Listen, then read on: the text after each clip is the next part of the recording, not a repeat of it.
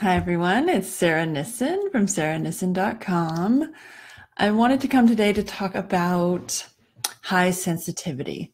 Um, one of the things that I've dealt with my entire life without even knowing about it until recently is that I'm a highly sensitive person.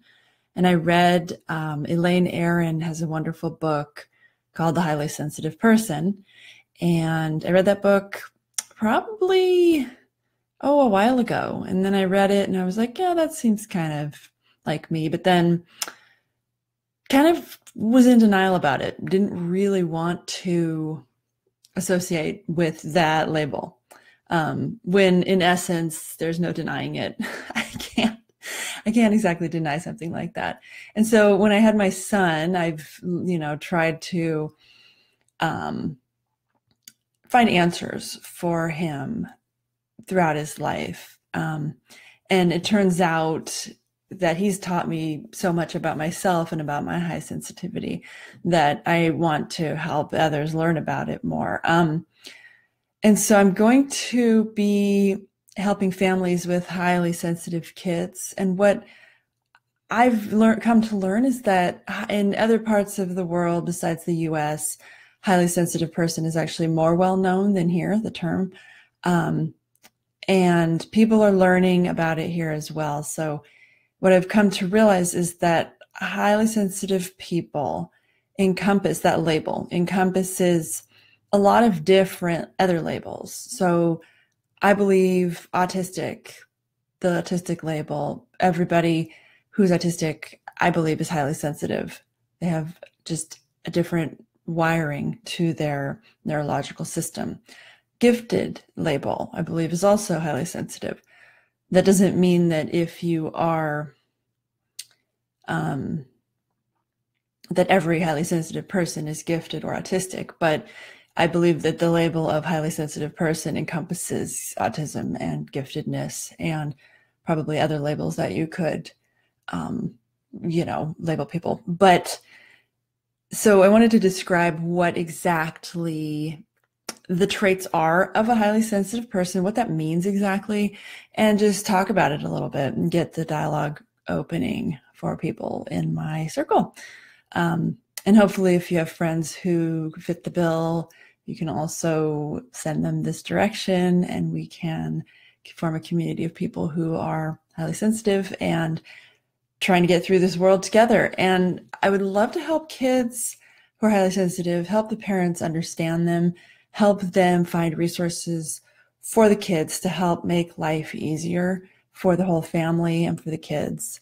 Um, I struggled as a highly sensitive kid myself without the understanding from my parents and lots and lots of criticisms and why can't you be different? You should be more this, you should be more that, lots and lots of that.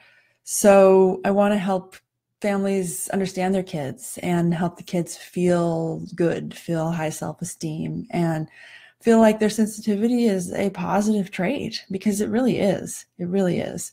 And so my son and I going through it together, we I try very hard to encourage his sensitivity and I'm, you know, um, very supportive of him because I know what it was like. And so I'd like to help other families do that as well.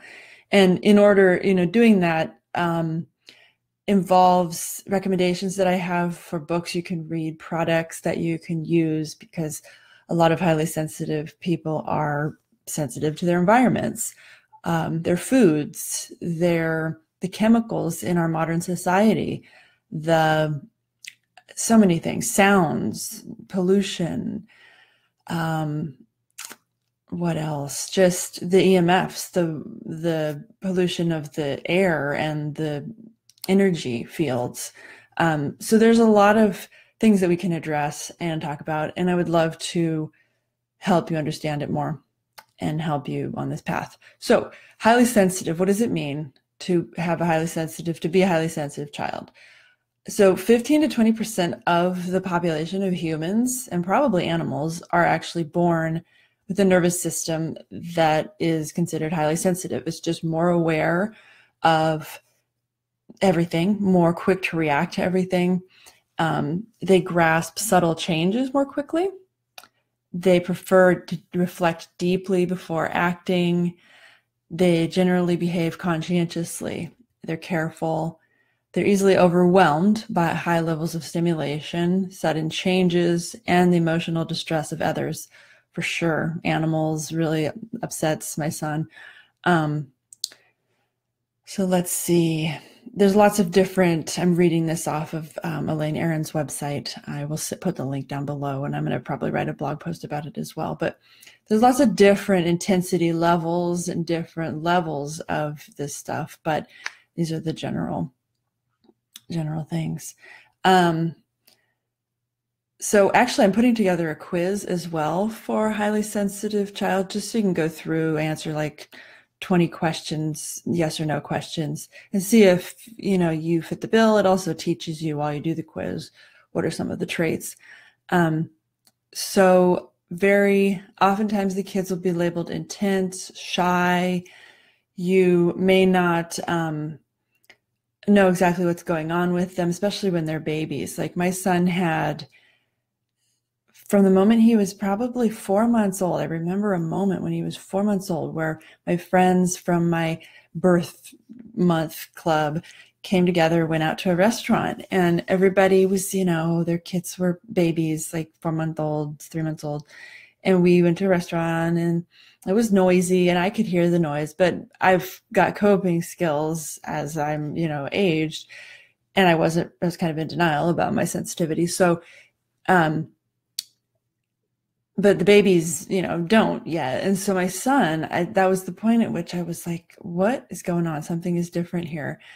And I didn't know about highly sensitive, highly sensitivity, high sensitivity or anything at that point. But he, um, so he's four months old. We go to a restaurant and he would, I, I ordered my food, but then he would not stop crying and all the other babies were nursing in their little, you know, their moms were covering them up, they're nursing them, and then they were just falling asleep and putting them over in their little car seat or their stroller or just setting them on their lap while they ate. And I had to leave because he would not settle down. Um, he was crying so loudly, and there's nothing I could do to settle him down. And I mean, looking back on that now, now I realize that.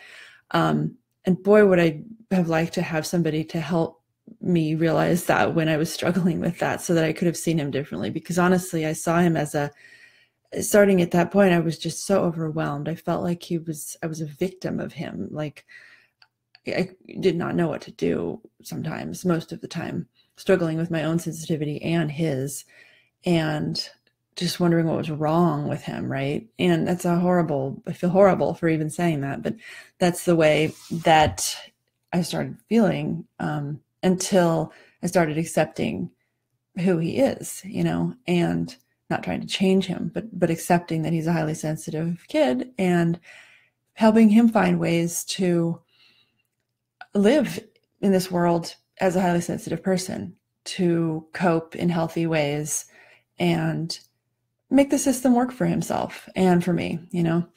So I mean, during that story of the restaurant, we left, right? We left. I went home. I started, I think I started crying in the car because I was like, I just want to be supported, you know, I just want to be with some people, some for adults, because I have this baby who I can't even, you know, get out of the house. So that's what I want to provide. I want to provide a sense of community and help for people who have highly sensitive kids or kids that they don't exactly know what's going on. But I feel like I can be a voice for the kids to the parents to help understand what might be going on um, with with the babies and the kids and helping find solutions for that you know um, recommendations for books recommendations for what you can do in your home and when you go out with your kid to help them get through the day what they can do at school what kind of support they can receive at school um, just all sorts of things what kind of mattresses to use what kind of just lots of stuff. So anyway um today i'm feeling really passionate about this. I have recently divorced my husband. He just moved out. And so i'm a single mom now raising my almost 11 year old two weeks um, highly sensitive son who has some other labels as well autistic sensory processing disorder. Um, that's probably one of them that's also underneath the highly sensitive person label. um, and audio auditory processing disorder, lots of disorders, right? Like so let's switch this high sensitivity to be a positive thing together. Um, yeah, let's do this. All right. So I will, and you can see that I've moved into my new office. It's one of the benefits of divorce. um, so I'll talk to you later. Please leave me a comment and please share this. If, I mean, I want to get this out there. I know not that many people see this on Facebook because of the way Facebook runs, but I'm going to post it onto YouTube as well. And please share it. Please connect people with me if you feel at all like they could be helped by somebody who understands what highly sensitive living is like and has done a lot of growth through it and is still growing through it on this journey and can help the kids with all the different things that you know that we go through. Um, especially talks like detoxing the home. Oh man there's so many different things. Detoxing the home the environment the food um, the school situation everything. All right. Talk to you later. Love you all. Bye